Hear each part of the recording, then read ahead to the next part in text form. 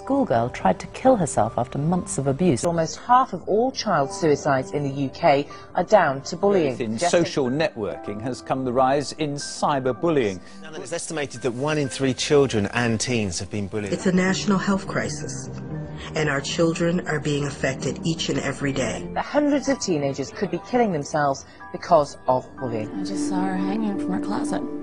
One in three teenagers is a victim of this. She committed suicide. A South Hadley High School student was bullied before she died continues.